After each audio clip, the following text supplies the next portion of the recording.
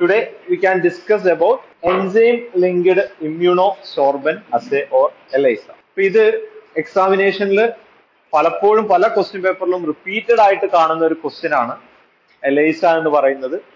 അപ്പൊ ഇതിലും നമ്മൾ നേരത്തെ പറഞ്ഞ പോലെ തന്നെ എന്താണ് ഇതിന്റെ ഡെഫിനിഷൻ എന്താണ് ഇതിന്റെ പ്രിൻസിപ്പിൾസുകൾ കഴിഞ്ഞ നമ്മളെ വെസ്റ്റേൺ ബ്ലോട്ടും സദേൺ ബ്ലോട്ടും എക്സ്പ്ലെയിൻ ചെയ്ത സമയത്ത് ഇല്ലാത്ത ഒരു കാര്യം എന്ന് പറയുന്നത് ഇതിൽ ഡിഫറെന്റ് ടൈപ്സ് ഓഫ് എലൈസ ഉണ്ട് എന്നുള്ളതാണ്. അപ്പൊ എന്താണ് ഡിഫറെന്റ് ടൈപ്സ് ഓഫ് എലൈസ എന്നുള്ളതും അതാത് എലൈസയിലുള്ള അതിന്റെ സ്റ്റെപ്സുകൾ എന്താണ് എന്നുള്ളതും ഇമ്പോർട്ടന്റ് ആണ്. And finally application of ELISA എന്തിനാണ് ഇത് യൂസ് ചെയ്യുന്നത് എന്നുള്ളത് വളരെ ഇമ്പോർട്ടന്റ് ആണ്. എലൈസ നിങ്ങൾ എല്ലാവരും കേട്ടിട്ടുണ്ടാവും. നമ്മളൊക്കെ എച്ച് ഐ വിയുടെ ഒരു ടെസ്റ്റ് ഐഡന്റിഫിക്കേഷൻ അല്ലെങ്കിൽ ഡിറ്റക്ഷൻ ടെസ്റ്റ് എന്ന് പറഞ്ഞിട്ടായിരിക്കും എലൈസ കേട്ടിട്ടുള്ളത് എന്നുള്ളത് അറിയണ്ടാവും. Okay so let start with an introduction എന്താണ് എലൈസ അല്ലെങ്കിൽ enzyme linked immunosorbent assay എന്ന് പറയും. അപ്പൊ നമ്മൾ ഓൾറെഡി എൻസൈം ലിങ്ക്ഡ് അല്ലെങ്കിൽ എൻസൈം ഇമ്മ്യൂണോ അസേ ഇ ഐ എന്ന് പറഞ്ഞിട്ട് നമ്മൾ ഓൾറെഡി നേരത്തെ ഡിസ്കസ് ചെയ്തിട്ടുള്ളതാണ്. ആന്റിബോഡി അല്ലെങ്കിൽ ആന്റിജനുമായിട്ട് ഒരു എൻസൈം ലിങ്ക് ചെയ്തിട്ട് അതിന്റെ കോംപ്ലിമെന്ററി ആയിട്ടുള്ള എന്താണോ സബ്സ്റ്റൻസ് അത് ഡിറ്റർമൈൻ ചെയ്യാനുള്ള ഒരു ആന്റിജൻ ആന്റിബോഡി റിയാക്ഷൻ മെത്തേഡിനെയാണ് എൻസൈം ഇമ്മ്യൂണോ അസേ എന്ന് പറയുന്നത്. അപ്പൊ സാധാരണഗതിയിൽ നമ്മൾ അത് ചെയ്യാറുള്ളത് ഒരു ലിക്വിഡ് മീഡിയത്തിലാണ് അപ്പൊ അതിന് ഇമ്മ്യൂണോസോർബന്റ് അസേ അല്ലെങ്കിൽ എൻസൈം ലിങ്ക്ഡ് ഇമ്മ്യൂണോസോർബന്റ് അസേ എങ്ങനെയാണ് ഡിഫറെന്റ് ആയിട്ട് വരുന്നതെന്ന് ചോദിച്ചു കഴിഞ്ഞാൽ ആന്റിജന്റെയോ ആന്റിബോഡിയുടെയോ ഒരു സോളിഡ് മെറ്റീരിയലിലോട്ട് സോർബേറ്റ് ചെയ്യാനുള്ള അതിന്റെ കപ്പാസിറ്റിനെ ബേസ് ചെയ്തിട്ടാണ് എൻസൈം ലിങ്ക്ഡ് ഇമ്മ്യൂണോസോർബന്റ് അസേ അതിന്റെ മാറ്റം വരാനുള്ളത്. So as a definition or as an introduction we can discuss ELISA is an rapid analytical biochemistry assay method than the Western blot for analysis or to detect and quantify specific proteins such as peptides, protein, antibodies, or hormones in a cell, tissue, organ or a body fluid. അപ്പൊ നമുക്ക് നേരത്തെ പറഞ്ഞ പോലെ തന്നെ നമുക്ക് തരുന്ന ഏതെങ്കിലും ഒരു മിക്സ്ചറിൽ അതിലുള്ള പ്രോട്ടീൻസിനെ ഐഡന്റിഫൈ ചെയ്യാനുള്ള ഒരു മെത്തേഡാണ് രണ്ട് രീതിയിലാണ് ഐഡന്റിഫൈ ചെയ്യാനും പറ്റും. അതുപോലെ തന്നെ അത് അനാലൈസ് ക്വാണ്ടിറ്റേറ്റീവ് ആയി എത്രത്തോളം ആ പ്രോട്ടീൻ ഉണ്ട് എന്ന് ഐഡന്റിഫൈ ചെയ്യാനും പറ്റും എന്നുള്ളതാണ് എലൈസയുടെ ഒന്നാമത്തെ ഒരു ഇമ്പോർട്ടന്റ് ആയിട്ടുള്ള പോയിന്റ് എന്ന് പറയുന്നത്. ഇനി എൻസൈം ഇമ്മ്യൂണോ അസയുമായിട്ട് എങ്ങനെയാണ് ഡിഫറെന്റ് ചെയ്യുന്നത് ഡിഫറെന്റ് ആവുന്നത് ചോദിച്ചു കഴിഞ്ഞാൽ this a solid phase type of enzyme immunoassay to detect the presence of protein in and liquid sample using antibody directed against the protein to be measured അപ്പൊ ഇവിടെ ഒരു solid ആയിട്ടുള്ള face ആണ് ഇവിടെ യൂസ് ചെയ്യുന്നത് എന്നുള്ളതാണ്. Who was describe this method Eva Engvall and Peter Perlmann in nineteen seventeen seventy വണ്ണിലാണ് ആദ്യമായിട്ട് ഈ ഒരു മെത്തേഡ് എൻസൈം എലൈസ മെത്തേഡ് ആദ്യമായിട്ട് ഡിസ്ക്രൈബ് ചെയ്യുന്നത്. Now when compare with the blotting technique, there is an advantage for ELISA that is we have have to uh, separate the gel, uh, അല്ലെങ്കിൽ separate the fractions. നമുക്ക് തരുന്ന ഒരു പ്രോട്ടീൻസിൽ ആ പ്രോട്ടീൻസിനെ ഫ്രാക്ഷനേറ്റ് ചെയ്യേണ്ട ആവശ്യമില്ല. Gel electrophoresis ഒന്നും നടത്താതെ തന്നെ നേരിട്ട് നമുക്ക് ഈ ഒരു ടെസ്റ്റ് ചെയ്യാൻ പറ്റും എന്നുള്ളത് തന്നെയാണ്. ആ ബ്ലോട്ടിംഗ് മെത്തേഡുമായിട്ട് കമ്പയർ ചെയ്യുന്ന സമയത്ത് എൻസൈം ലിങ്ക്ഡ് ഇമ്മ്യൂണോസോർബന്റ് അസേക്കുള്ള ഒരു അഡ്വാന്റേജ് എന്ന് പറയുന്നത് okay now let see what are the principles of enzyme linked immunosorbent assay അപ്പോൾ ആ വേർഡിൽ തന്നെ കുറെ കാര്യങ്ങൾ അതിലുണ്ട്. ഒന്നാമത്തത് അതൊരു അതിന്റെ സോർബേറ്റ് ചെയ്യാനുള്ള പ്രോപ്പർട്ടി ആണ് പ്രോട്ടീനിന്റെ പ്ലാസ്റ്റിക് സർഫസുമായിട്ട് ബൈൻഡ് ചെയ്യാനുള്ള ആ പ്രോപ്പർട്ടിനെ ബേസ് ചെയ്തിട്ടാണ് ഈ ഒരു എലൈസ എന്ന് പറയുന്ന ടെക്നിക് യൂസ് ചെയ്യുന്നത്. അപ്പൊ അതിനു വേണ്ടിയിട്ട് നമ്മൾ ഇവിടെ യൂസ് ചെയ്യുന്ന മെറ്റീരിയൽ എന്ന് പറയുന്നത് പോളിസ്റ്റൈറിൻ മൈക്രോ ടൈറ്റർ പ്ലേറ്റ് എന്ന് പറയുന്ന പ്ലേറ്റുകളാണ്. അത് ചെറിയ വെല്ലുകൾ നയന്റി സിക്സ് വെൽ വെൽ എന്ന് പറഞ്ഞാൽ ചെറിയ ചെറിയ ഹോൾസുകളുള്ള പോളിസ്റ്റൈറിൻ മെറ്റീരിയൽ കൊണ്ട് പ്രിപ്പയർ ചെയ്തിട്ടുള്ള ഈ ഒരു ഈ ഒരു അല്ലെങ്കിൽ ഈ ഒരു മെറ്റീരിയലിലാണ് നമ്മൾ ഈ ഒരു എലൈസ ടെസ്റ്റ് പെർഫോം ചെയ്യുന്നത്. ഓക്കെ അപ്പൊ നമ്മൾ പറഞ്ഞു എന്തിനാണ് ടെസ്റ്റ് ചെയ്യുന്നത് വെച്ച് കഴിഞ്ഞാൽ പ്രോട്ടീൻ അല്ലെങ്കിൽ ആന്റിബോഡി അല്ലെങ്കിൽ ആന്റിജനെ ഡിറ്റക്ട് ചെയ്യാൻ വേണ്ടിയിട്ടാണ്. രണ്ടും പ്രോട്ടീൻസുകളാണെന്ന് നമ്മൾ പറഞ്ഞതാണ്. അപ്പോ അപ്പോ അതിന് കോംപ്ലിമെന്ററി ആയിട്ട് നമുക്ക് ചാൻസ് ഉള്ള കോംപ്ലിമെന്ററി ആയിട്ടുള്ള ഏജൻസുകളായിരിക്കും നമ്മൾ എടുക്കുക. സാമ്പിൾ ഏതായാലും ഒന്നേ ഉണ്ടാവുള്ളൂ. പക്ഷെ അത് നമുക്ക് ഡിറ്റക്ട് ചെയ്യാൻ യൂസ് ചെയ്യേണ്ട പ്രോട്ടീൻസുകൾ ചിലപ്പോൾ ചിലപ്പോൾ ആന്റിജനെ ഡിറ്റക്ട് ചെയ്യാൻ വേണ്ടിയിട്ടാണെങ്കിൽ ആന്റിബോഡി ആയിരിക്കാം അല്ലെങ്കിൽ ആന്റിബോഡിനെ ഡിറ്റക്ട് ചെയ്യാൻ വേണ്ടിയിട്ട് ആന്റിജൻ ആയിട്ട് യൂസ് ചെയ്യേണ്ടാവാം ഇപ്പൊ ഡിഫറെന്റ് ആയിട്ടുള്ള ആന്റിജൻസുകൾ അല്ലെങ്കിൽ ഡിഫറെന്റ് ആയിട്ടുള്ള പ്രോട്ടീൻസുകൾ അതിനു വേണ്ടിയിട്ട് യൂസ് ചെയ്യുന്നതാണ് ഈ ഒരു മെത്തേഡ് എന്ന് പറയാം. ഓക്കെ സോ അതാണ് ninety six well polystyrene microtitre plate എന്ന് പറയുന്നത്. ഇനി രണ്ടാമത്തെ പ്രിൻസിപ്പിൾ എന്ന് പറയുന്നത് അല്ലെങ്കിൽ അതിന്റെ ഒരു പ്രൊസീജിയർ ആയിട്ട് പറയുന്ന സമയത്ത് എന്തിനെയാണോ ഐഡന്റിഫൈ ചെയ്യാൻ ഉദ്ദേശിക്കുന്നത്? ആന്റിജനെ ആണോ അല്ലെങ്കിൽ ആന്റിബോഡിനെ ആണോ ഐഡന്റിഫൈ ചെയ്യാൻ ഉദ്ദേശിക്കുന്നത്? അതിന്റെ കറസ്പോണ്ടിങ് ആയിട്ടുള്ള ആന്റിജന് ആന്റിബോഡി ആണ് നമ്മൾ ഈ പ്ലേറ്റിൽ നമ്മൾ നേരത്തെ പറഞ്ഞിട്ടുള്ള പോളിസ്റ്ററിംഗ് മൈക്രോട്രൈറ്റർ പ്ലേറ്റിൽ നമ്മൾ അതിനാദ്യം കോട്ട് ചെയ്യുന്നത്. ഇപ്പോ ഫോർ എക്സാമ്പിൾ ആന്റിജനെ ഡിറ്റക്ട് ചെയ്യാൻ വേണ്ടിയിട്ടാണ് നമ്മൾ ഈ ഒരു പെർഫോമൻസ് ചെയ്യുന്നതെന്നുണ്ടെങ്കിൽ നമ്മൾ ആന്റിബോഡി വെച്ചിട്ടായിരിക്കും കോട്ട് ചെയ്യുന്നത്. അതിനുശേഷമായിരിക്കും എൻസൈം ലിങ്ക്ഡ് ആയിട്ടുള്ള ഒരു ആന്റിബോഡി യൂസ് ചെയ്തിട്ട് അതിനെ അതുമായിട്ട് ട്രീറ്റ് ചെയ്യും. ഓക്കെ അതിനുശേഷം ചില പ്രൊസീജിയറിൽ ഒരു സെക്കൻഡറി ആന്റിബോഡീസുകൾ യൂസ് ചെയ്യും. Usually that will be linked with an enzyme അതുകൊണ്ടാണ് എൻസൈം ലിങ്ക്ഡ് ഇമ്മ്യൂണോസോർബന്റ് അസേ എന്ന് പറയുന്നത്. ഒരു സെക്കൻഡറി ആന്റിബോഡി സാധാരണഗതിയിൽ എപ്പോഴും ഒരു എൻസൈമുമായിട്ട് ലിങ്ക് ചെയ്തിട്ടുള്ളതായിരിക്കാം. ലൈക്ക് ആൽക്കലൈൻ ഹോസ്പിറ്റൈസ് ആയിരിക്കാം. അല്ലെങ്കിൽ ഹോസ് പെറോക്സിഡൈസ് എൻസൈം ആയിരിക്കാം. അല്ലെങ്കിൽ ബീറ്റ ഗാലക്ടോസിഡൈസ് എൻസൈം ആയിരിക്കാം. ഓക്കെ അപ്പൊ ഇങ്ങനെ ഈ സർഫസിന്റെ മുകളിൽ ഈ ടൈറ്ററിന്റെ മുകളിൽ മൈക്രോ ടൈറ്റർ പ്ലേറ്റിന്റെ മുകളിൽ ആദ്യം ആന്റിജൻ വെച്ചിട്ടോ അല്ലെങ്കിൽ ആന്റിബോഡി വെച്ചിട്ടോ കോട്ട് ചെയ്യും. അതിനുശേഷം ഒരു സെക്കൻഡറി ആന്റിബോഡിയോ അല്ലെങ്കിൽ secondary ആന്റിജനോ which is with an enzyme വെച്ച് നമ്മൾ ട്രീറ്റ് ചെയ്യും. അതിനുശേഷം അൺഅബ്സോർബ്ഡ് സൈറ്റുകൾ ഏതെങ്കിലും ഉണ്ടെന്നുണ്ടെങ്കിൽ നമ്മൾ അതിനെ റിമൂവ് ചെയ്യാൻ വേണ്ടിയിട്ട് അതല്ലെങ്കിൽ അൺബോണ്ടഡ് ആയിട്ടുള്ള സെക്കൻഡറി ആന്റിബോഡീസുകളൊക്കെ ഉണ്ടെങ്കിൽ അതിനെ റിമൂവ് ചെയ്യാൻ വേണ്ടിയിട്ട് അതിനെ നമ്മൾ വാഷ് ചെയ്യണം. ദെൻ അതിനുശേഷമാണ് നമ്മളൊരു സബ്സ്ട്രേറ്റ് ആഡ് ചെയ്യുന്നത്. അത് ഡിപ്പെൻഡ്സ് ഓൺ ദി എന്താണോ അവിടെ യൂസ് ചെയ്യുന്ന മെറ്റീരിയൽ അല്ലെങ്കിൽ ഏതാണോ അവിടെ യൂസ് ചെയ്യുന്ന ഐഡന്റിഫൈ ചെയ്യാൻ ഉദ്ദേശിക്കുന്ന ആന്റിജൻ അല്ലെങ്കിൽ ആന്റിബോഡി ആണോ എന്നുള്ളതിനനുസരിച്ച് കളർ പ്രൊഡ്യൂസ് ചെയ്യാനുള്ള ഒരു സബ്സ്റ്റൻസ് ആണ് സാധാരണഗതിയിൽ ആഡ് ചെയ്യാറുള്ളത്. ഓക്കെ അങ്ങനെ കളർ പ്രൊഡ്യൂസ് ചെയ്യുകയാണെന്നുണ്ടെങ്കിൽ നമ്മൾ ഉദ്ദേശിച്ചിട്ടുള്ള ആന്റിജന് കോംപ്ലിമെന്ററി ആയിട്ടുള്ള ഒരു ആന്റിബോഡി കൊടുത്ത സമയത്താണ് അവിടെ ആന്റിജൻ ആന്റിബോഡി റിയാക്ഷൻ ഉണ്ടായിട്ടുള്ളത്. അപ്പോഴായിരിക്കും ആ കളർ ചേഞ്ച് ഉണ്ടായിട്ടുള്ളത്. അതാണ് ആ ടെസ്റ്റ് പോസിറ്റീവ് ആണ് എന്നുള്ളത്. ഒരു ആന്റിജനെ അല്ലെങ്കിൽ ഒരു ആന്റിബോഡി ഡിറ്റക്ട് ചെയ്യാനുള്ള ബേസിക് പ്രിൻസിപ്പിൾ എന്ന് പറയും. ആ കളർ ചേഞ്ച് ഉണ്ടായി കഴിഞ്ഞാൽ ടെസ്റ്റ് പോസിറ്റീവ് ആണ്. ദാറ്റ് മീൻസ് എന്തിനെയാണോ ടെസ്റ്റ് ചെയ്തിട്ടുള്ളത്? ആന്റിജന് വേണ്ടിയിട്ടാണ് ടെസ്റ്റ് ചെയ്തിട്ടുണ്ടെങ്കിൽ ആന്റിജൻ ഉണ്ട്. അതല്ലെങ്കിൽ ആന്റിബോഡിക്ക് വേണ്ടിയിട്ടാണോ ടെസ്റ്റ് ചെയ്തിട്ടുണ്ടെങ്കിൽ ആന്റിബോഡി ഉണ്ട് എന്നുള്ളതാണ് ക്വാളിറ്റേറ്റീവ് ടെസ്റ്റ് എന്ന് പറയും. അപ്പൊ കളർ ചേഞ്ച് എത്രത്തോളം ഉണ്ട് എന്നുള്ളത് മെഷർ ചെയ്ത് കഴിഞ്ഞാൽ അതിൽ എത്രത്തോളം ആന്റിബോഡിയുടെ പ്രസൻസ് ഉണ്ട് അല്ലെങ്കിൽ എത്രത്തോളം ആന്റിജന്റെ പ്രസൻസ് ഉണ്ട് എന്ന് നമുക്ക് ക്വാണ്ടിറ്റേറ്റീവും കൂടി ആയിട്ട് മെഷർ ചെയ്യാൻ പറ്റും എന്നുള്ളതാണ് എലൈസയുടെ ഒരു അഡ്വാന്റേജ് എന്ന് പറയും okay so that is the principle of ELISA now let see what are the types of ELISA ഈ ടൈപ്സ് എന്ന് പറയുന്നത് നമ്മൾ ആഡ് ചെയ്യുന്ന ആന്റിജൻ ആന്റിബോഡി സെക്കൻഡറി ആന്റിബോഡി ഇങ്ങനെയുള്ള സാധനങ്ങൾ ആഡ് ചെയ്യുന്നതിന്റെ ഓർഡറിലുള്ള ഡിഫറൻസ് മാത്രമേ ഉള്ളൂ. പ്രിൻസിപ്പിൾ ഒക്കെ സെയിം ആണ്. ആദ്യം ഏതാണ് നമ്മൾ ഈ പറഞ്ഞ പ്ലേറ്റിൽ കോട്ട് ചെയ്യുന്നത്? അതിനുശേഷം ഏത് സാമ്പിൾ ആണ് കൊടുക്കുന്നത്? അതിനുശേഷം secondary antibody with enzyme linked means enzyme linked ആയിട്ടുള്ള ആ സെക്കൻഡറി ആന്റിബോഡി കൊടുക്കുന്നത്. ആ ആ ഓർഡറിൽ മാത്രമേ ഇതിലൊക്കെ വ്യത്യാസം വരാനുള്ളൂ. Okay so there are four different types of ELISA direct ELISA indirect ELISA sandwich ELISA and competitive or inhibition ELISA okay ഓരോന്നിനും ഓരോ പെർപ്പസ് ആണ്. ഫസ്റ്റത്തത് രണ്ടും ആന്റിബോഡി ഡിറ്റക്ട് ചെയ്യാൻ വേണ്ടിയിട്ടുള്ളതാണ്. ഇൻഡയറക്റ്റ് അലൈസയിലോട്ട് വരുന്ന സമയത്ത് അത് ക്വാണ്ടിറ്റേറ്റീവും കൂടി ആയിട്ടുള്ളതാണ്. ബാക്കിയുള്ള രണ്ടിലും നമുക്ക് അതിനെ എത്രത്തോളം എങ്കിൽ എന്താണ് ഉള്ളത് ആന്റിബോഡി ഏതാണ് എന്നുള്ളത് ഡിറ്റക്ട് ചെയ്യാൻ വേണ്ടിയിട്ട് യൂസ് ചെയ്യുന്നതാണ്.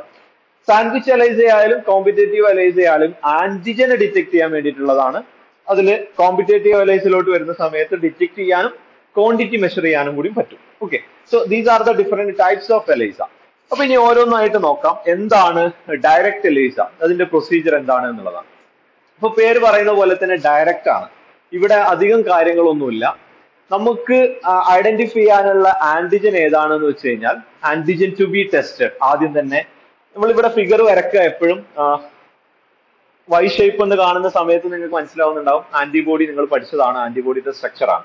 ബാക്കിയുള്ളതിനെ നമ്മൾ റൗണ്ട് ആയിട്ടായിരിക്കും വരക്കുന്നുണ്ടാവുക ഇവിടെ വരക്കുന്ന ലൈൻ എന്ന് പറയുന്നത് ആ പ്ലേറ്റിന്റെ മുകളിലുള്ള സ്ട്രക്ചറിന്റെ ബാക്കിയാണ്. നമ്മൾ റൗണ്ട് ഒന്നും വരക്കാൻ ഉദ്ദേശിക്കുന്നില്ല.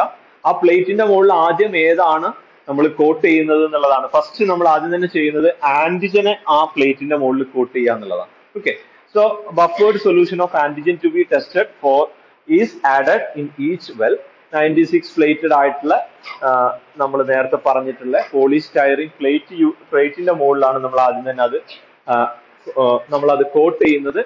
കോട്ട് ചെയ്യാന്ന് വെച്ച് കഴിഞ്ഞാൽ ജസ്റ്റ് നമ്മൾ അതിലോട്ട് ആഡ് ചെയ്തതിന് ശേഷം സഫീഷ്യന്റ് ആയിട്ടുള്ള ടൈം കൊടുക്കുക എന്നുള്ളതാണ്. കാരണം നമ്മൾ നേരത്തെ പറഞ്ഞു ആന്റിജന്റെയോ ആന്റിബോഡിയുടെയോ ബൈൻഡ് ചെയ്യാനുള്ള കപ്പാസിറ്റിക്ക് അനുസരിച്ചിട്ടാണ് enzyme linked immunosorbent assay എന്ന് പറയുന്നത്. അബ്സോപ്ഷൻ എന്ന് പറയുന്ന അല്ലെങ്കിൽ അസോപ്ഷൻ എന്ന് പറയുന്ന പ്രോസസ്സ് എത്രത്തോളം ഉണ്ട് എന്നുള്ളതിനനുസരിച്ചിട്ടാണ് ബാക്കിയുള്ള കാര്യങ്ങൾ നടക്കുന്നത്. അപ്പൊ ഫസ്റ്റത്തെ സ്റ്റെപ്പ് എന്ന് പറയുന്നത് ആന്റിജനെ നമ്മൾ ആഡ് ചെയ്തു. സഫീഷ്യന്റ് ആയിട്ടുള്ള ടൈം കൊടുത്തു. ഇനി അൺബോണ്ടഡ് ആയിട്ടുള്ള ആന്റിജൻസ് ഏതെങ്കിലും ഉണ്ട് എന്നുണ്ടെങ്കിൽ അതിനെ റിമൂവ് ചെയ്യാൻ വേണ്ടി വാഷിംഗ് എന്ന് പറയുന്ന ഒരു സ്റ്റെപ്പ് ഉണ്ടാവും. എല്ലാ പ്രോസസ്സിലും അതുണ്ടാവും ബോണ്ട് ചെയ്തതിന് ശേഷം വാഷ് ചെയ്യുക. അൺബോണ്ടഡ് ആയിട്ടുള്ള ആന്റിജനെ റിമൂവ് ചെയ്യാൻ വേണ്ടിയിട്ട്. ഓക്കെ എന്നിട്ട് അൺബോണ്ടഡ് സൈറ്റുകൾ ഉണ്ടെന്നുണ്ടെങ്കിൽ അതിനെ ബ്ലോക്ക് ചെയ്യാൻ വേണ്ടി നമ്മൾ ബ്ലോട്ടിംഗ് ടെക്നിക്കിലൊക്കെ ചെയ്ത പോലെ തന്നെ ഒരു ഏജന്റ് ആഡ് ചെയ്യാം. നോൺ റിയാക്റ്റീവ് പ്രോട്ടീൻസുകളായിട്ടുള്ള ബൊവൈൻ സിറം ആൽബുമിനോ അല്ലെങ്കിൽ കസിനോ യൂസ് ചെയ്തിട്ട് ഈ അൺബോണ്ടഡ് സൈറ്റ്സിനെ നമുക്ക് ബ്ലോക്ക് ചെയ്യാം. അത് എന്തിനാന്ന് വെച്ച് കഴിഞ്ഞാൽ ഫാൾസ് പോസിറ്റീവ് ടെസ്റ്റുകൾ തരാതിരിക്കാൻ വേണ്ടിയിട്ടാണ്. വേറെ ഏതെങ്കിലും റീഏജൻസുകൾ അവിടെ കയറിയിരിക്കാതെ അല്ലെങ്കിൽ വേറെ ഏതെങ്കിലും പ്രോട്ടീൻസുകളൊക്കെ കയറിയിരിക്കാതിരിക്കാൻ വേണ്ടിയിട്ടാണ്. ഓക്കെ നോ ഇവിടെ ഡയറക്റ്റ് അലൈസിന്റെ കേസിൽ നമ്മൾ നേരിട്ട് യൂസ് ചെയ്യുന്നത് primary antibody which is labelled with an enzyme ഇവിടെ ഒരു സെക്കൻഡറി ആന്റിബോഡി ഒന്നുമില്ല. ഒരു ആന്റിജനും ഉള്ളൂ ഒരു ആന്റിബോഡി ഉണ്ട്. ഓക്കെ ആ ആന്റിബോഡിയുടെ എൻസൈം ലിങ്ക്ഡ് ആണ്. അപ്പൊ നേരിട്ട് നമ്മൾ ആ primary antibody is attached with over conjugated with an enzyme is added സ്വാഭാവികമായിട്ടും അത് കോംപ്ലിമെന്ററി ആയിട്ടുള്ള ആന്റിബോഡി ആണെങ്കിൽ ആണെങ്കിൽ മാത്രം ഓക്കെ ആണെങ്കിൽ മാത്രം അവിടെ ഒരു ആന്റിജൻ ആന്റിബോഡി റിയാക്ഷൻ നടക്കും. ഇതിന്റെ മുകളിൽ ഒരു എൻസൈം ഉണ്ടായിട്ടുണ്ട്. ആ എൻസൈമുമായിട്ട് റിയാക്ട് ചെയ്യുന്ന ഒരു സബ്സ്ട്രേറ്റ് നമ്മൾ അതിലോട്ട് ആഡ് ചെയ്തിട്ടുണ്ടെങ്കിൽ ആ ആന്റിജൻ ആന്റിബോഡി കോംപ്ലക്സ് ഒരു കളർ കൊടുക്കും. ആ കളർ എത്രത്തോളം ഉണ്ട് അല്ലെങ്കിൽ അത് എന്താണ് എന്നുള്ളത് മെഷർ ചെയ്യുന്ന സമയത്ത് കളർ പ്രൊഡ്യൂസ് ചെയ്യുകയാണെന്നുണ്ടെങ്കിൽ അവിടെ ഒരു ആന്റിജൻ ആന്റിബോഡി റിയാക്ഷൻ നടന്നിട്ടുണ്ട്. അപ്പോൾ സ്വാഭാവികമായിട്ടും ആ സാമ്പിളിൽ ആന്റിജൻ ഉണ്ട് എന്നുള്ളത് കൺഫേം ചെയ്യാൻ പറ്റും. അതുപോലെ തന്നെ എത്രത്തോളമാണ് അതിന്റെ കളർ ചേഞ്ച് അതിന്റെ ഇന്റൻസിറ്റി മെഷർ ചെയ്യുന്ന സമയത്ത്? സ്പെക്ട്രോ ഫോട്ടോമെട്രിക് മെത്തേഡിൽ നമ്മൾ അതിന്റെ കളർ ഇന്റൻസിറ്റി മെഷർ ചെയ്യുന്ന സമയത്ത് എത്രത്തോളമാണ് അതിന്റെ ഇന്റൻസിറ്റി എന്ന് ക്വാണ്ടിറ്റേറ്റീവ് ആയിട്ട് കൂടി നമുക്ക് മെഷർ ചെയ്യാൻ പറ്റും. So that is the direct ELISA അതിന്റെ പ്രൊസീജിയർ ആണ് പറഞ്ഞത്. Okay now coming to the indirect ELISA അപ്പൊ ഇൻഡയറക്റ്റ് അലൈസയിൽ നമ്മൾ ആദ്യം തന്നെ ചെയ്യുന്നത് ആദ്യം നമ്മളൊരു ആന്റിജനെ വെച്ച് കോട്ട് ചെയ്യുക നയന്റി സിക്സ് വെൽഡ് ആയിട്ടുള്ള പോളിസ്റ്റൈറിൻ മൈക്രോ ടൈറ്റർ പ്ലേറ്റിൽ ആദ്യം തന്നെ നമുക്ക് ഏതാണോ ആന്റിജൻ കണ്ടെയ്നിങ് പ്രിപ്പറേഷൻസ് അതിനെ വെച്ച് നമ്മൾ നമ്മൾ ട്രീറ്റ് ചെയ്യാം. അപ്പൊ ഇതിലൊരു എക്സാമ്പിൾ പറയുകയാണെങ്കിൽ ഇത് സാധാരണഗതിയിൽ ഇനാക്ടിവേറ്റഡ് ആയിട്ടുള്ള H I V antigen antigen വെച്ച് നമ്മൾ അതിനെ ട്രീറ്റ് ചെയ്യാം. അതിനുശേഷം അതിലുള്ള ഓൾ അൺബോണ്ടഡ് സൈറ്റിനെ ബ്ലോക്ക് ചെയ്യാൻ വേണ്ടിയിട്ട് നമ്മൾ നേരത്തെ പറഞ്ഞ പോലെ ബൊവൈൻ സിറം ആൽബുമിൻ വെച്ച് ട്രീറ്റ് ചെയ്യുക ഫാൾസ് പോസിറ്റീവ് റിസൾട്ട് തരാ പ്രിവെന്റ് ചെയ്യാൻ വേണ്ടിയിട്ടാണ് അങ്ങനെ അൺബ്ലോ ബ്ലോക്കിംഗ് ചെയ്യുന്നത്. അതിനുശേഷം ഏത് സാമ്പിളിന്റെ ആണോ ഏത് സാമ്പിളിലുള്ള ആന്റിബോഡി ആണോ ഡിറ്റക്ട് ചെയ്യേണ്ടത് ആ ഡിറ്റക്ട് ചെയ്യാനുള്ള ഏജന്റ് നമ്മൾ ആഡ് ചെയ്യുക എന്നുള്ളതാണ്. ഓക്കെ ആ ഡിറ്റക്ട് ചെയ്യാനുള്ള ഏജന്റ് നമ്മൾ ആഡ് ചെയ്യാം. സാമ്പിൾ കണ്ടെയ്നിങ് ആന്റിബോഡി ആ സാമ്പിൾ നമ്മൾ കൊടുക്കുക അപ്പൊ ഇതിലൂടെ ഒരു എക്സാമ്പിൾ എന്ന് പറഞ്ഞു കഴിഞ്ഞാൽ നമുക്ക് ചിലപ്പോ അത് റാബിറ്റ് മോണോക്ലോണൽ ആന്റിബോഡി ആയിരിക്കാം അല്ലെങ്കിൽ test serum diluted with buffer ആയിരിക്കാം. അങ്ങനെ എന്തെങ്കിലും ഒരു ആയിരിക്കും ആ സാമ്പിൾ കണ്ടെയ്നിങ് പ്രിപ്പറേഷൻ എന്ന് പറയുന്നത്. അങ്ങനെ ആഡ് ചെയ്തതിനു ശേഷം ഇതേ വെള്ളിൽ നമ്മൾ തേർട്ടി സെവൻ ഡിഗ്രി സെൽഷ്യസിൽ നമ്മൾ അതിനെ ഇൻക്യുബേറ്റ് ചെയ്യുന്നു. ദെൻ അൺബോണ്ടഡ് ആയിട്ടുള്ള ഏതെങ്കിലും ആന്റിബോഡി കണ്ടെയ്നിങ് പ്രിപ്പറേഷൻസുകൾ ഉണ്ടെങ്കിൽ അതിനെ റിമൂവ് ചെയ്യാൻ വേണ്ടി വാഷിംഗ് നടത്തുന്നു. അതിനുശേഷം ഒരു സെക്കൻഡറി ആയിട്ടുള്ള ഒരു antibody which is conjugated with an enzyme here on example എന്ന് പറയുന്നത് anti mouse I G G ആണ്. അല്ലെങ്കിൽ goat anti human immunoglobulin antibody conjugated with horseradish peroxidase enzyme അപ്പൊ അതാണ് ഒരു സെക്കൻഡറി ആന്റിബോഡി കോൺജുഗേറ്റഡ് എൻസൈമിനുള്ള ഒരു എക്സാമ്പിൾ എന്ന് പറയുന്നത്. അപ്പോ റാഡിസ് പെറോക്സിഡൈസ് എൻസൈമുമായിട്ട് കോൺജുഗേറ്റ് ചെയ്തിട്ടുള്ള ആന്റി ഹ്യൂമൻ ഇമ്മ്യൂണോഗ്ലോബുലിൻ ആന്റിബോഡീസുകൾ വെച്ച് നമ്മൾ ട്രീറ്റ് ചെയ്യാം. ദെൻ അഗെയിൻ അൺബോണ്ടഡ് ആയിട്ടുള്ള ആന്റിബോഡീസിനെ റിമൂവ് ചെയ്യാൻ വേണ്ടി പ്ലേറ്റ് വാഷ് ചെയ്യുക. Then a substrate like ortho phenyl diamine dihydrochloride അങ്ങനെയുള്ള ഒരു സബ്സ്ട്രേറ്റ് ആഡ് ചെയ്യുക. If there is an antigen antibody reaction it will give coloured product okay ഇതാണ് ഇൻഡയറക്ട് എലൈസ എന്ന് പറയുന്നത്. അപ്പൊ ഇതിന്റെ ഒരു ഫിഗർ നമുക്ക് ഇമ്പോർട്ടന്റ് ആണ്. ആദ്യം തന്നെ നമ്മൾ ആന്റിജനെ വെച്ച് കോട്ട് ചെയ്യാം ഞാൻ നേരത്തെ പറഞ്ഞു ആന്റിജനെ നമ്മൾ സാധാരണ റെപ്രസെന്റ് ചെയ്യുക. ഒരു റൗണ്ട് വരച്ചിട്ടാണ്. ദെൻ ഒരു പ്രൈമറി ആന്റിബോഡി ആഡ് ചെയ്യാം ഓക്കെ ദെൻ ഒരു secondary antibody which is conjugated with an enzyme add ചെയ്യാം. ദെൻ ഒരു കളറിംഗ് സബ്സ്റ്റൻസ് ആഡ് ചെയ്യാം. ആ കളറിംഗ് സബ്സ്റ്റൻസ് ആഡ് ചെയ്യുന്ന സമയത്ത് നമുക്ക് ഒരു കളർ പ്രൊഡ്യൂസ് ചെയ്യുകയാണെന്നുണ്ടെങ്കിൽ നമുക്ക് നമ്മളെ സാമ്പിളിൽ ആ ആന്റിബോഡി ഉണ്ട് എന്നുള്ളത് ഡിറ്റക്ട് ചെയ്യാൻ പറ്റും എന്നുള്ളതാണ്. Okay so that is the procedure for indirect ELISA ഇതിനുള്ള ഒരു അഡ്വാന്റേജ് എന്ന് പറയുന്നത് ഓവർ ഡയറക്റ്റ് അലൈസിന്റെ മുകളിലുള്ള ഒരു അഡ്വാന്റേജ് എന്ന് പറയുന്നത് ഇതിന് സെൻസിറ്റിവിറ്റി കൂടുതലാണ്. കാരണം നമ്മൾ രണ്ട് more than one labelled antibody ഒക്കെ ചില സമയത്ത് പ്രൈമറി ആന്റിബോഡിന്റെ കൂടെ നമ്മൾ യൂസ് ചെയ്യുന്നുണ്ട് അതുപോലെ wide variety of labelled secondary antibodies are commercially available then there will be a maximum immune reactivity and uh, it is versatile because many primary antibody can be made in one species then flexibility ഉള്ളതാണ് cost saving ഉള്ളതാണ് then different visualization മാർക്കേഴ്സുകൾ different ആയിട്ടുള്ള colour producing സബ്സ്റ്റൻസുകൾ നമ്മൾ indirect അലൈസയിൽ നമുക്ക് use ചെയ്യാൻ പറ്റും. These are the advantages of indirect ELISA there is some disadvantages. First one is cross reactivity ചില സമയത്ത് നമ്മൾ യൂസ് ചെയ്യുന്ന ഒരു സെക്കൻഡറി ആന്റിബോഡീസുകൾ നോൺ സ്പെസിഫിക് ആയിട്ടുള്ള സിഗ്നൽസുകൾ തരാനുള്ള ചാൻസുകൾ ഉണ്ട്. ദെൻ എക്സ്ട്രാ ഇൻക്യുബേഷൻ സ്റ്റെപ്പ് ആവശ്യമുണ്ട്. കാരണം ഓരോ ആന്റിബോഡി കൊടുക്കുന്ന സമയത്തും അതിനെ ഇൻക്യുബേറ്റ് ചെയ്യേണ്ട ആവശ്യമുണ്ട്. ഡയറക്റ്റ് അലൈസയിൽ നമുക്ക് അതിന്റെ ആവശ്യമില്ല. അത് ഡയറക്റ്റ് മിക്സ് ചെയ്ത് കളറിംഗ് ഏജന്റ് ആഡ് ചെയ്യേണ്ട ആവശ്യമേ വരുന്നുള്ളൂ. Okay next one is sandwich ELISA. ഇപ്പൊ സാൻഡ്വിച്ച് എന്ന് പറയുന്ന സമയത്ത് നമുക്കറിയാം ഉള്ളിൽ ഒരു സാധനം വെച്ച് അതിന്റെ പുറത്ത് രണ്ട് സാധനം കൊണ്ട് കോട്ട് ചെയ്യുന്നതായിരിക്കും സാൻഡ്വിച്ച് എന്ന് പറയുന്നത്. അപ്പൊ അത് തന്നെയാണ് ഇവിടെ നടക്കുന്നത്. നമുക്കിത് നമ്മൾ എന്തിനാണ് ചെയ്യുന്നതെന്ന് ചോദിച്ചു കഴിഞ്ഞാൽ അത് ആന്റിജനെ ഡിറ്റക്ട് ചെയ്യാനുള്ള ഒരു പ്രൊസീജിയർ ആണ് സാൻഡ്വിച്ച് അലൈസ എന്ന് പറയുന്നത്. ഇപ്പൊ ഡിറ്റക്ട് ചെയ്യാനുള്ള സാധനം സെൻട്രലാണ് നമ്മൾ എടുക്കുന്നത്. അപ്പൊ ആദ്യം തന്നെ പ്ലേറ്റിൽ നമ്മൾ യൂസ് ചെയ്യുന്നത് antibody containing പ്രിപ്പറേഷൻസുകളാണ് surface is prepared to which a known quantity of antibody like goat rotavirus ആന്റിബോഡിയാണ് ആദ്യം തന്നെ ആഡ് ചെയ്യുന്നത്. അത് വെച്ചിട്ടാണ് ആദ്യം അതിന്റെ മുകളിൽ ആദ്യത്തെ കോട്ടിംഗ് ഉണ്ടാക്കുന്നത്. അതിനുശേഷം antigen containing preparation to be identified അതാണ് നമ്മൾ ആഡ് ചെയ്യുന്നത്. ലൈക്ക് ഫീക്കൽ സാമ്പിൾ ഒക്കെ നമുക്ക് യൂസ് ചെയ്യാം. റോട്ട വൈറസിന്റെ ഡിറ്റക്ഷന് വേണ്ടിയിട്ടുള്ള ഒരു ടെസ്റ്റിന്റെ പ്രൊസീജിയർ ആണ് ഇവിടെ പറയുന്നത്. അപ്പോൾ നമ്മൾ റോട്ട വൈറസ് ആന്റിബോഡി ആദ്യം തന്നെ കോട്ട് ചെയ്തു. അതിലോട്ട് റോട്ട വൈറസ് ഉണ്ടാവാൻ ചാൻസ് ഉള്ള ഒരു ഫീക്കൽ സാമ്പിൾ നമ്മൾ ഈ ഒരു ഇതിന്റെ മുകളിലോട്ട് ആഡ് ചെയ്തു. Then we have to incubate at four degree Celsius overnight then two hour for thirty seven degree Celsius സ്റ്റെപ്പിൽ ചെറിയൊരു മാറ്റമുണ്ട്. ആദ്യം ഓവർ നൈറ്റ് ഫോർ ഡിഗ്രി സെൽഷ്യസിൽ ഇൻക്യുബേറ്റ് ചെയ്യണം. Then two hour thirty seven degree സെൽഷ്യസിൽ incubate ചെയ്യണം. അതിനുശേഷം അത് പ്ലേറ്റ് വാഷ് ചെയ്യുക അൺബോണ്ടഡ് ആയിട്ടുള്ള ആന്റിജൻസിനെ റിമൂവ് ചെയ്യാൻ വേണ്ടി പ്ലേറ്റ് വാഷ് ചെയ്യാം. Then we will add an secondary antibody which is conjugated with an enzyme. Here കിനീപിക് anti-rotavirus serum labelled with alkaline phosphatase ആണ് യൂസ് ചെയ്യുന്നത്. ഓക്കെ അപ്പൊ ഒരു ആന്റിബോഡിയുടെ പേര് പഠിച്ചു വെക്കുക. ഒരു എക്സാമ്പിൾ നമ്മൾ അതിന്റെ കൂടെ എക്സ്പ്ലെയിൻ ചെയ്ത് പോവുകയാണ്. ആദ്യം ഒരു ആന്റി ആന്റിബോഡി കോട്ട് ചെയ്തു. Then antigen containing preparation to be tested add ചെയ്തു. വാഷ് ചെയ്തു. അതിനുശേഷം സെക്കൻഡറി ആന്റിബോഡി കണ്ടെയ്നിങ് അല്ലെങ്കിൽ കോൺജുഗേറ്റഡ് വിത്ത് എൻസൈം ആൽക്കലൈൻ ഫോസ്ഫേറ്റേസുമായിട്ട് കോൺജുഗേറ്റ് ചെയ്തിട്ടുള്ള ഒരു സെക്കൻഡറി ആന്റിബോഡി ആഡ് ചെയ്തു. Then we will wash for unbonded ആയിട്ടുള്ള ആന്റിബോഡീസിനെ റിമൂവ് ചെയ്യാൻ വേണ്ടി നമ്മൾ അതിനെ വാഷ് ചെയ്യാം then we will add a substrate which will produce colour like para nitrophenyl phosphatase phosphate എന്ന് പറയുന്ന ആ ഒരു സബ്സ്ട്രേറ്റ് ആണ് ആഡ് ചെയ്യുന്നത്. അങ്ങനെ സമയത്ത് യെല്ലോ കളർ പ്രൊഡ്യൂസ് ചെയ്യുകയാണെന്നുണ്ടെങ്കിൽ which indicate there is an antigen which is present in the fecal sample which will bind with an enzyme അല്ലെങ്കിൽ which will bind with an antibody rotavirus. റോട്ടാവൈറസിന്റെ ആന്റിബോഡിയുമായിട്ട് അത് react ചെയ്യാൻ capacity ഉള്ള ഒരു antigen ആ ഒരു സാമ്പിളിൽ പ്രസന്റ് ഉണ്ട് എന്നുള്ളതാണ് യെല്ലോ കളർ പ്രൊഡ്യൂസ് ചെയ്യുന്ന സമയത്ത് അത് ഇൻഡിക്കേറ്റ് ചെയ്യുന്നത്. ഓക്കെ അപ്പൊ ഇതാണ് അതിന്റെ ബേസിക് ആയിട്ടുള്ള ഫിഗർ ആദ്യം തന്നെ ആന്റിബോഡി വെച്ച് കോട്ട് ചെയ്തു. ദെൻ ആന്റിജൻ കണ്ടെയ്നിങ് പ്രിപ്പറേഷൻ കൊടുക്കുന്ന സമയത്ത് ഇതിന് ആന്റിബോഡിക്ക് കോംപ്ലിമെന്ററി ആയിട്ടുള്ള ആന്റിജൻ ഉണ്ട് എന്നുണ്ടെങ്കിൽ ഇതുമായിട്ട് ബൈൻഡ് ചെയ്യും. ദെൻ നമ്മൾ എൻസൈം കോഞ്ചുഗേറ്റഡ് ആയിട്ടുള്ള സംഗതികൾ ആഡ് ചെയ്യുന്നുണ്ട്. അതിനുശേഷം സബ്സ്ട്രേറ്റ് ആഡ് ചെയ്യുന്നുണ്ട്. ഓക്കെ അപ്പൊ ഇതൊരു സാൻഡ്വിച്ച് ആയിട്ടായിരിക്കും കാണുന്നുണ്ടാവുക.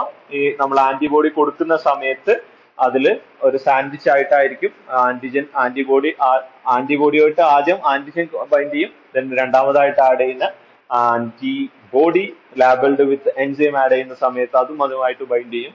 അങ്ങനെ അത് അതിന്റെ കളർ പ്രൊഡ്യൂസ് ചെയ്യും. ഓക്കെ അതാണ് സാൻഡ്വിച്ച് എലൈസ എന്ന് പറയുന്നത്. ഓക്കെ അപ്പൊ ഇതിന്റെ ഒരു അഡ്വാന്റേജ് എന്ന് പറഞ്ഞാൽ ഹൈ സ്പെസിഫിസിറ്റി ഉണ്ട് എന്നുള്ളതാണ് ഇവിടെ രണ്ട് ആന്റിബോഡി യൂസ് ചെയ്യുന്നുണ്ട്. കോംപ്ലക്സ് ആയിട്ടുള്ള സാമ്പിൾസിൽ യൂസ് ചെയ്യാൻ പറ്റുന്നതാണ്. ഫ്ലെക്സിബിലിറ്റി ആൻഡ് സെൻസിറ്റിവിറ്റി കൂടുതലുള്ള ഒരു ടെസ്റ്റിംഗ് മെത്തേഡ് ആണ് സാൻഡ്വിച്ച് അലൈസ എന്ന് പറയുന്നത്. സാൻഡ്വിച്ച് അലൈസ എന്ന് പറയുന്നത് ആന്റി ആന്റിജനെ ഡിറ്റക്ട് ചെയ്യാൻ വേണ്ടിയിട്ടുള്ള മെത്തേഡ് ആണ് എന്നുള്ളത് മനസ്സിലാക്കുക. മാറിപ്പോരുത് ആന്റിജനെ ഡിറ്റക്ട് ചെയ്യാൻ വേണ്ടിയിട്ടുള്ള മെത്തേഡാണ് ഓക്കെ നൗ കോമ്പറ്റേറ്റീവ് അലൈസ ആന്റിജന്റെ തന്നെ എത്രത്തോളം അതിന്റെ ഇന്റൻസിറ്റി ഉണ്ട് എന്ന് ഡിറ്റക്ട് ചെയ്യാൻ വേണ്ടിയിട്ട് യൂസ് ചെയ്യുന്ന ഒരു മെത്തേഡാണ് competitive ELISA it is also not of inhibition ELISA എന്ന് പറയും. കാരണം ഇവിടെ നമ്മൾ രണ്ട് ആന്റിജൻസുകൾ യൂസ് ചെയ്യുന്നുണ്ട്. ഒരു റെഫറൻസ് ആന്റിജന് യൂസ് ചെയ്യുന്നുണ്ട് ഒരു ടെസ്റ്റ് ആന്റിജൻ യൂസ് ചെയ്യുന്നുണ്ട്. അപ്പോ ഈ സാധാരണഗതിയിൽ റെഫറൻസ് ആന്റിജൻ ആണ് ആദ്യം തന്നെ ഈ പ്ലേറ്റിൽ നമ്മൾ കോട്ട് ചെയ്യുന്നത്. ആദ്യം തന്നെ നമ്മൾ കോട്ട് ചെയ്യാൻ ഉദ്ദേശിക്കുന്നത് റെഫറൻസ് ആന്റിജൻ ആണ്. എന്നിട്ട് നമുക്ക് പ്രിപ്പയർ ചെയ്യേണ്ട അല്ലെങ്കിൽ ഏത് ആന്റിജനെയാണോ നമ്മൾ ഐഡന്റിഫൈ ചെയ്യേണ്ടത് അത് ഒരു ആന്റിബോഡിയുമായിട്ട് ഇൻക്യുബേറ്റ് ചെയ്തതിന് ശേഷമാണ് ഈ പ്ലേറ്റിലോട്ട് നമ്മൾ ട്രാൻസ്ഫർ ചെയ്യുന്നത്. പ്രൊസീജിയറിൽ ഒരു ചേഞ്ച് എന്ന് പറയുന്നത് അതാണ്. റെഫറൻസ് ആന്റിജൻ ആദ്യം തന്നെ പ്ലേറ്റിലോട്ട് കോട്ട് ചെയ്യുന്നുണ്ട്. ദെൻ ഏത് സാമ്പിൾ ആണോ ഡിറ്റക്ട് ചെയ്യേണ്ടത് ആന്റിജൻ കണ്ടെയ്നിങ് സാമ്പിൾ അതിന്റെ ആന്റിബോഡിയുമായിട്ട് ഇൻക്യുബേറ്റ് ചെയ്തിട്ട് ആ ആന്റിജൻ ആന്റിബോഡി കോംപ്ലക്സ് ആണ് ഈ പ്ലേറ്റിലോട്ട് നമ്മൾ ആഡ് ചെയ്യുന്നത്. അപ്പോൾ ഇതിൽ ഒരു പ്രിൻസിപ്പിൾ എന്ന് പറയുന്ന സമയത്ത് അതിൽ മോർ ആന്റിജൻ ഉണ്ട് എന്നുണ്ടെങ്കിൽ നമ്മളെ സാമ്പിളിൽ മോർ ആന്റിജൻ ഉണ്ട് എന്നുണ്ടെങ്കിൽ അവിടെ നമ്മൾ കൊടുക്കുന്ന റെഫറൻസ് ആന്റിജൻ ഓൾറെഡി കോട്ട് ചെയ്ത് നിൽക്കുന്ന റെഫറൻസ് ആന്റിജന് ആന്റിബോഡിയുമായിട്ട് വളരെ വീക്ക് ആയിട്ടുള്ള സിഗ്നൽ മാത്രമേ പ്രൊഡ്യൂസ് ചെയ്യുള്ളൂ. അപ്പൊ കളർ ഇൻഡ്യൂസ് ചെയ്യുന്ന ആ ഒരു പ്രോസസ് അല്ലെങ്കിൽ ആ ഒരു സ്റ്റെപ്പ് നമ്മൾ നോക്കുന്ന സമയത്ത് ആ കളർ വീക്ക് ആണ് വീക്ക് സിഗ്നൽ ആണ് കിട്ടുന്നത് എന്നുണ്ടെങ്കിൽ അത് ഇൻഡിക്കേറ്റ് ചെയ്യുന്നത് നമ്മൾ എടുത്തിരിക്കുന്ന സാമ്പിളിൽ കൂടുതൽ ആന്റിജൻ ഉണ്ട് എന്നുള്ളത് നമുക്ക് മെഷർ ചെയ്യാൻ പറ്റും എന്നുള്ളതാണ്. ഇവിടെ നമ്മൾ രണ്ട് ആന്റിജൻ യൂസ് ചെയ്യുന്നുണ്ടെന്ന് പറഞ്ഞു. ഒരു റെഫറൻസ് ആന്റിജൻ യൂസ് ചെയ്യുന്നുണ്ട്. അത് ആദ്യം തന്നെ പ്ലേറ്റിലോട്ട് കോട്ട് ചെയ്യാണ് ചെയ്യുന്നത്. അതിനുശേഷം നമുക്ക് ഡിറ്റക്ട് ചെയ്യേണ്ട സാമ്പിൾ ആന്റിബോഡിയുമായിട്ട് റിയാക്ട് ചെയ്തതിന് ശേഷമാണ് നമ്മൾ ആ പ്ലേറ്റിലോട്ട് ട്രാൻസ്ഫർ ചെയ്യുന്നത്. അങ്ങനെ അപ്പോൾ ഓൾറെഡി നമ്മളെ സാമ്പിളിൽ കൂടുതൽ ആന്റിജൻ ഉണ്ടെങ്കിൽ ആന്റിബോഡിയുമായിട്ട് കൂടുതൽ നമ്മളെ സാമ്പിളിലുള്ള ആന്റിജൻ റിയാക്ട് ചെയ്തിട്ടുണ്ടാവും. ഓക്കെ അപ്പൊ റെഫറൻസ് ആന്റിജന് ഈ പറയുന്ന ആന്റിബോഡിയുമായിട്ട് ചെറിയ റിയാക്ഷൻ മാത്രമേ പ്രൊഡ്യൂസ് ചെയ്യുള്ളൂ. അതുകൊണ്ട് ചെറിയ സിഗ്നൽ മാത്രമേ പ്രൊഡ്യൂസ് ചെയ്യുള്ളൂ എന്നുള്ളതാണ് കോമ്പറ്റേറ്റീവ് അലൈസിന്റെ പ്രിൻസിപ്പിൾ എന്ന് പറയുന്നത്. അപ്പൊ ആദ്യം തന്നെ antibody is incubated with antigen then this antigen antibody complex is added to the pre coat pre-coated with antigen. Reference ആന്റിജനുമായിട്ട് കോട്ട് ചെയ്തിട്ടുള്ള ആ ഒരു പ്ലേറ്റിലോട്ട് ഓൾറെഡി ആന്റിബോഡി സാമ്പിളുമായിട്ട് റിയാക്ട് ചെയ്തിട്ടുള്ള ആന്റിജൻ ആന്റിബോഡി കോംപ്ലക്സ് ആണ് ആ പ്ലേറ്റിലോട്ട് ആഡ് ചെയ്യുന്നത്. അതിനുശേഷം അത് വാഷ് ചെയ്യുന്നു. ദെൻ എൻസൈം ലിങ്ക്ഡ് ആയിട്ടുള്ള ഒരു specific antibody primary antibody add ചെയ്യുന്നു. അഗൈൻ വാഷ് ചെയ്യുന്നു. ഒരു സബ്സ്ട്രേറ്റ് ആഡ് ചെയ്യുന്നു. സബ്സ്ട്രേറ്റ് ആഡ് ചെയ്യുന്ന സമയത്ത് അതിന്റെ കളർ ഫ്ലൂറസൻ സിഗ്നൽ കിട്ടുന്ന സമയത്ത് അത് ഇൻഡിക്കേറ്റ് ചെയ്യുന്നത് ആന്റിജൻ ഉണ്ട് എന്നുള്ളതാണ്. ആ ഫ്ലൂറസൻ സിഗ്നൽ എത്രത്തോളം പവർഫുൾ ആണ് എന്നുള്ളതിനനുസരിച്ച് സാമ്പിളിലുള്ള ആന്റിജൻ നമുക്ക് ഡിറ്റക്ട് ചെയ്യാൻ പറ്റും. അതിന്റെ സിഗ്നൽ വീക്ക് ആണ് എന്നുണ്ടെങ്കിൽ അതിന് ഇൻഡിക്കേറ്റ് ചെയ്യുന്നത് സാമ്പിളിൽ കൂടുതൽ ആന്റിജൻ ഉണ്ട് എന്നുള്ളതും സിഗ്നൽ പവർഫുൾ ആണെന്നുണ്ടെങ്കിൽ അത് ഇൻഡിക്കേറ്റ് ചെയ്യുന്നത് സാമ്പിളിൽ കുറച്ച് ആന്റിജൻ ഉള്ളുണ്ട് എന്നുള്ളതാണ്. ഫ്ലൂറസെൻസ് ഉണ്ടായി കഴിഞ്ഞാൽ തന്നെ ആന്റിജൻ ഉണ്ട് എന്ന് കൺഫേം ചെയ്യാം. അതിന്റെ സിഗ്നലിന്റെ കപ്പാസിറ്റി നോക്കുന്ന സമയത്ത് വീക്കർ ആണെന്നുണ്ടെങ്കിൽ ലെസ് ആന്റിജനും മോർ ആന്റിജൻ ആണ് സാമ്പിളിൽ ഉള്ളത് പവർഫുൾ സിഗ്നൽ ആണ് വരുന്നതെന്നുണ്ടെങ്കിൽ ലെസ് ആന്റിജൻ ആണ് സാമ്പിൾ ഉള്ളത് എന്നുള്ളതാണ് അത് ഇൻഡിക്കേറ്റ് ചെയ്യുന്നത്. Okay so these are the different types of ELISA നമ്മൾ ഇത്രയും ഡിസ്കസ് ചെയ്തിട്ടുള്ളത് ഒന്നിൽ നേരിട്ടൊരു പ്രൈമറി ആന്റിബോഡി കോഞ്ചുഗേറ്റഡ് എൻസൈം അതാണ് ഡയറക്റ്റ് എലൈസ എന്ന് പറയുന്നത്. ഇൻഡയറക്റ്റ് എലൈസന്റെ സമയത്ത് ആദ്യം ഒരു ആന്റിജനെ വെച്ച് കോട്ട് ചെയ്തിട്ടുണ്ട്. അതിന്റെ മുകളിൽ ഒരു ആന്റിബോഡി ആഡ് ചെയ്യുന്നുണ്ട്. ദെൻ ഒരു സെക്കൻഡറി ആന്റിബോഡി വിത്ത് എൻസൈം അതാണ് ആഡ് ചെയ്യുന്നത്. അപ്പോഴാണ് കളർ കിട്ടുന്നത്. അതാണ് ഇൻഡയറക്റ്റ് എലൈസ എന്ന് പറയുന്നത്. ഇനി സാൻഡ്വിച്ച് അലൈസിലോട്ട് വരുന്ന സമയത്ത് ആദ്യം പ്ലേറ്റിൽ നമ്മൾ കോട്ട് ചെയ്യുന്നത് ആന്റിബോഡി വെച്ചിട്ടാണ്. ദെൻ നമ്മൾ ഒരു ആന്റിജൻ ആഡ് ചെയ്യുന്നുണ്ട്. അതിനുശേഷം ഒരു secondary antibody which is conjugated with enzyme ആണ് നമ്മൾ ആഡ് ചെയ്യുന്നത്. ദെൻ കോമ്പറ്റേറ്റീവ് അലൈസയിൽ വരുന്ന സമയത്ത് ഒരു ഇൻഹിബിറ്ററി ആന്റിജൻ അല്ലെങ്കിൽ ഒരു റെഫറൻസ് ആന്റിജനും ഉണ്ട്. അത് നമ്മൾ ആന്റിജനും ഉണ്ട്. ഒരു സെക്കൻഡറി ആന്റിബോഡി കോൺജുഗേറ്റഡ് വിത്ത് എൻസൈമും യൂസ് ചെയ്യുന്നുണ്ട്. So this is the difference between different types of ELISA and finally the applications of ELISA first application എന്ന് പറയുന്നത് it can be used to detect either antigen or antibody രണ്ടിനെയും detect ചെയ്യാൻ വേണ്ടി use ചെയ്യും ഫസ്റ്റത്തെ application എന്ന് പറയുന്നത്. രണ്ടാമത്തെ അപ്ലിക്കേഷൻ എന്ന് പറയുന്നത് സിറം ആന്റിബോഡി കോൺസെൻട്രേഷൻ നമുക്ക് മെഷർ ചെയ്യാൻ പറ്റും in case of virus test ഒക്കെ ചെയ്യുന്ന സമയത്ത്. അതിൽ സിറം ആന്റിബോഡി കോൺസെൻട്രേഷൻ എത്രത്തോളം ഉണ്ടെന്ന് ഡിറ്റർമിൻ ചെയ്യാൻ പറ്റും.